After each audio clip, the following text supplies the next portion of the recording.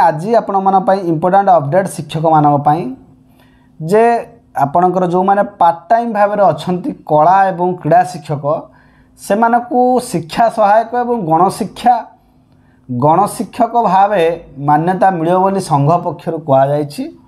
ସେଥିପାଇଁ ସଂଘ ଆନ୍ଦୋଳନ ଯେଉଁ ଦୀର୍ଘ ଦିନ ଧରି ଆନ୍ଦୋଳନ ଜାରି ରଖିଥିଲା ତାହା ସ୍ଥଗିତ କରିଛନ୍ତି ଶିକ୍ଷା ସଚିବଙ୍କ ସହିତ ଆଲୋଚନା ପରେ ବୋଲି ସଂଘ ପକ୍ଷରୁ ସୂଚନା ଦିଆଯାଇଛି।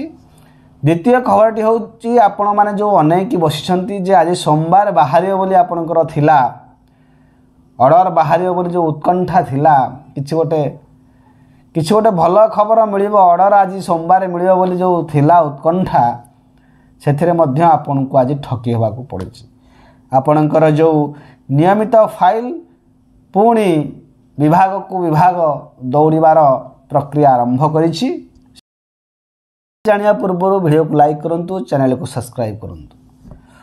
ବନ୍ଧୁମାନେ ପ୍ରଥମ ନ୍ୟୁଜ୍ଟି ହେଲା ଯେ ଆମର ଯେଉଁମାନେ ଥିଲେ ଓଡ଼ିଶା କଳା ଓ କ୍ରୀଡ଼ା ଶିକ୍ଷକ ମହାସଂଘ ପକ୍ଷରୁ ଦୀର୍ଘ ଦିନ ଧରି ସେମାନଙ୍କର ଆନ୍ଦୋଳନ ଜାରି ରହିଥିଲା ବିଧାନସଭା ସମ୍ମୁଖରେ। ସେମାନେ ଗଣଶିକ୍ଷା ସଚିବଙ୍କ ସହିତ ଆଲୋଚନା କରିଛନ୍ତି। ଆଲୋଚନା ଫଳରେ ତାଙ୍କର ଆନ୍ଦୋଳନ ସ୍ଥଗିତ ରଖିଛନ୍ତି। କାହିଁକିନା ସେମାନଙ୍କୁ ପ୍ରତିଶ୍ରୁତି ମିଳିଛି ପାର୍ଟ ଟାଇମ୍ କଳା ଓ କ୍ରୀଡ଼ା ଶିକ୍ଷକମାନେ ଏଣିକି ଶିକ୍ଷା ସହାୟକ ଏବଂ ଗଣଶିକ୍ଷକ ଭାବେ ମାନ୍ୟତା ପାଇବ। ଆବାହକ ହେଉଛନ୍ତି ଚନ୍ଦ୍ରଶେଖର ପାଢ଼ୀ।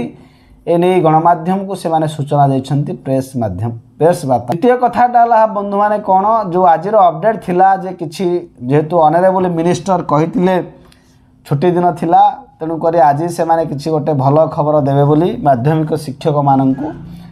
କିନ୍ତୁ ତାହା ବର୍ତ୍ତମାନ ସୁଦ୍ଧା କୌଣସି ଅପଡ଼େଟ୍ ଆସିନାହିଁ। ଶୁଣାଯାଉଛି ଯେ ଫାଇଲ୍ଟି ପୁଣି ସାଧାରଣ ପ୍ରଶାସନ ବିଭାଗକୁ ପୁଣି ଗତି କରିଛି। ଫାଇଲ୍ ବର୍ତ୍ତମାନ ବିଭାଗ ଆରି ବିଭାଗରୁ ବିଭାଗ ପୁଣି ଡେଇବା ଆରମ୍ଭ କରିଛି। ତେଣୁ ପୁଣି ମାଧ୍ୟମିକ ପୁଣି ମାଧ୍ୟମିକ ଶିକ୍ଷକମାନେ ଠକି ହୋଇଯାଇଛନ୍ତି। ସେମାନେ ଯେଉଁ ଆଶା ରଖିଥିଲେ ସୋମବାର କିଛି ତାଙ୍କୁ ମିଳିବ ନିୟମିତର କିଛି ବାର୍ତ୍ତା ମିଳିବ ହୁଏତ ସେମାନଙ୍କୁ ଶାନ୍ତି ମିଳିବ କିନ୍ତୁ ତାହା ବର୍ତ୍ତମାନ କିଛି ଏପର୍ଯ୍ୟନ୍ତ ସେମାନଙ୍କ ପାଇଁ ସୁସ୍ଥ ସମ୍ବାଦ ଯେଉଁ ଖୁସି ଖବର ମିଳିବ ବୋଲି କୁହାଯାଉଥିଲା ତାହା ମିଳିନାହିଁ। ତେଣୁ ବିଭାଗ ବାରି ପୁଣି ଯଦି ଫାଇଲ୍ଟିକି ଯିବ ମଡ଼ିଫିକେସନ୍ ହେବ ପୁଣି କିଛି ଦିନ ଘୁଞ୍ଚିବ ତେଣୁ ଆପଣମାନଙ୍କର ଯେଉଁ ଧୈର୍ଯ୍ୟର ଅପେକ୍ଷାର ସୀମା ତ ନିଶ୍ଚିତ ଭାବରେ ଲଙ୍ଘିଲାଣି ତେଣୁ ଆପଣ ପ୍ରସ୍ତୁତି ହୁଅନ୍ତୁ କିଭଳି ଭାବରେ ଆପଣ ଅଧିକାର ପାଇବେ। ଆପଣ ଜାଣିଛନ୍ତି କେଉଁ ଉପାୟରେ ଆପଣଙ୍କୁ ଅଧିକାର ମିଳିବ। ବନ୍ଦେ ଉତ୍କଳ ଜନନୀ।